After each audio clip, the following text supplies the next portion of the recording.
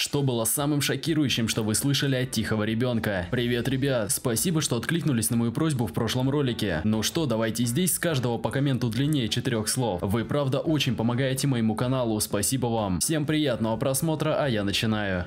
Ничего, это был Чо Сын Хи, стрелок из Вирджинии, можете загуглить. Позвольте мне объяснить, я ходил на занятия к одному преподу. Класс назывался «Современный ужас». Это был одноразовый факультатив, предложенный моим любимым профессором. Мы читали романы ужасов, смотрели фильмы ужасов и обсуждали искусство создания страшных историй, а также то, как они отражают или представляют страхи своей эпохи. Это был отличный урок. Там было всего около 15 студентов, и всем нравилась эта пара. Чо был одним из них. Честно говоря, я никогда не замечал его даже в этом маленьком классе до середины семестра. Он не был тихим, он просто молчал. Поэтому в тот день, когда мы все наконец заметили его, наш профессор спросил его о чем-то, прямо обратившись к нему. А Чо просто смотрел на него. Я не могу вспомнить вопрос, но природа его означала, что молчание было потенциально приемлемым и забавным ответом. И мы все рассмеялись, кроме Чо. Он просто продолжал смотреть на нашего профессора. Наш смех неловко затих, и после нескольких минут неловкого молчания наш профессор просто сказал «Окей» и пошел дальше. Это было так странно странно, но я забыл об этом странном моменте, пока не случилось следующее. Этот профессор позже сказал мне, что Чо постоянно писал супер странные вещи в своих тетрадках, но профессор списывал это все на тематику пары. Этот профессор был хорошим человеком, и он признался, что боролся с тем, чтобы не винить себя на каком-то уровне за то, что первое, не определил, насколько серьезными были проблемы психического здоровья Чо, и второе, за графическую и ужасную природу некоторых фильмов, которые мы наблюдали в этом классе, что возможно вдохновило Чо. Он знал, что это чушь собачья, но какая-то часть его не не могла не чувствовать себя виноватым. Это было ужасно грустно.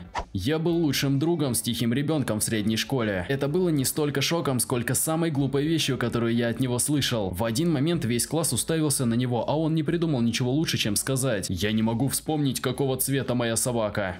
В старших классах была одна очень тихая девочка по имени Грейс. Она была приятным человеком, но не сказала бы ничего кроме «привет» или «извините», если бы вы спросили ее о чем-то. Но даже тогда она выглядела напуганной. Это было на выпускном, и я была на парковке того места, где мы проводили выпускной. Я потеряла свои линзы, и мне пришлось бежать к своей машине, чтобы взять очки. На парковке Грейс улыбалась и выходила из машины. Она посмотрела на меня, рассмеялась и сказала, «Райан, ее кавалер на выпускном, только что жестко отымел меня в машине. Я и по сей день ржу над этим. Играя в регби, Хукер полностью терпит неудачу в линии выхода. Кто-то шутливо кричит, кто-нибудь знает хороших женщин легкого поведения, чтобы заменить Патрика. Самый тихий парень в команде, никогда не слышал, чтобы он что-то говорил. Может мама Патрика сможет помочь? Мы все упали на пол от смеха. Однажды этот ребенок, который едва ли сказал два слова, спрашивает учителя о времени. Это было на каком-то внеклассном мероприятии, и там не было часов. Учительница говорит классическое «пора тебе обзавестись часами», что почему-то было смешно всем остальным. Тихий ребенок не смеется. Он смотрит учителю прямо в глаза, и как только все успокоились, он говорит «Так ты скажешь мне гребаное время или как? Мы учились в седьмом классе». Один из моих студентов почти не произнес ни слова за весь год, пока пару недель назад я не попытался взять под контроль группу болтливых студентов, но у меня не особо получалось. Но кажется она нашла способ и тут она кричит «Заткнитесь! Я пытаюсь работать, вы гребаные засранцы!» Последовало неловкое молчание, потому что я не знал, как справиться с обычно прилежным и тихим человеком, который только что выкрикнул такое. Это было, когда я был в моем первом семестре колледжа два года назад. Там была одна девушка, которая никогда не говорила ни слова. Учитель задавал ей вопросы, но она не произносила ни слова. Честно говоря, я не помню, чтобы она издавала хоть какой-то звук. Однажды учитель расстроился, он почувствовал, что она игнорирует его и что она ведет себя неуважительно. Поэтому он, как мудак, сказал, тебе никто не учил говорить. Она встала, подошла к доске, схватила фломастер и написала, я не Майя, ты тупой ублюдок. По-видимому, никто никогда не говорил учителю, что у нее есть инвалидность. Мы отдыхали в баре в Праге, и кто-то скатал немного травяного масла и табака и пустил его по кругу. Тихий чел, который был с нами, подкурил его и стал еще тише. 20 минут спустя в баре заиграл какой-то агрессивный рычащий бэк-металл, и из ниоткуда наш тихий чел кричит «Убей своих родителей!». Мы упали со смеху, он был вполне доволен собой. Тихий мальчик из моего класса однажды встал, схватил метлу, встал на стул и начал пытаться прихлопнуть пчел, которые попали внутрь. Одна пчела приземлилась на окно, где тихий ребенок продолжал кричать «Сдохни, сдохни!», а затем ударил и разбил окно. Он взвизгнул, когда это произошло и снова сел. Больше я никогда не слышал его голоса.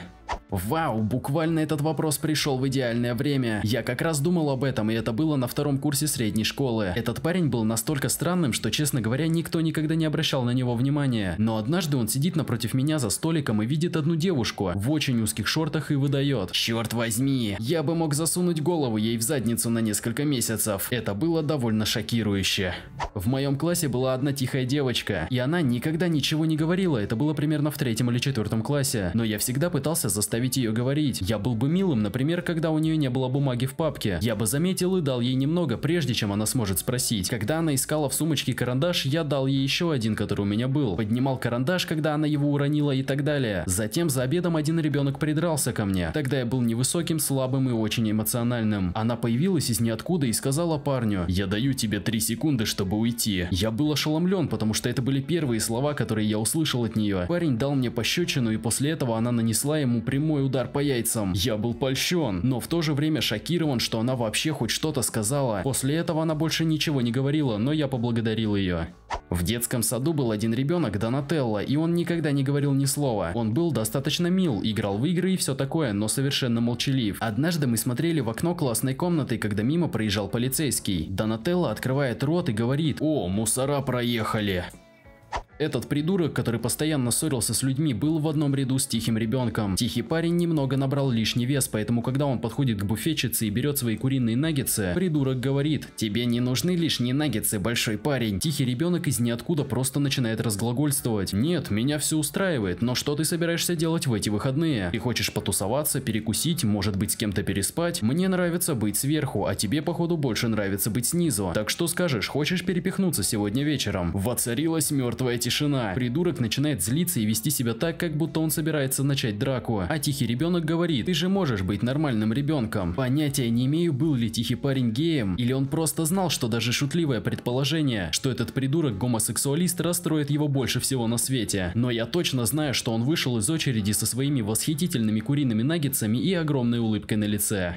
В средней школе у тихого паренька Стивена был заклятый соперник Робби. На уроках Робби всегда оказывался в центре их маленьких потасовок, в основном потому, что Стивен не мог дать ему достойный отпор. Он просто игнорил его и позволил Робби выкрикивать свои оскорбления, пока не вмешался учитель. Однажды я шел за Робби после урока, и Стивен тихонько подкрался к нему сзади. Прежде чем Робби успел обернуться, он подошел как можно ближе и сказал, «Если я войду в твой дом и убью тебя, пока ты спишь, сомневаюсь, что кто-нибудь вообще заметит». Затем он исчез в темноте ночного коридора. Я не помню, помню точных слов, но это было чертовски странно. Я был примерно на 55% шокирован, на 30% истерически смеялся внутри и на 15% был напуган. Робби больше никогда не смеялся над стариной Стиви.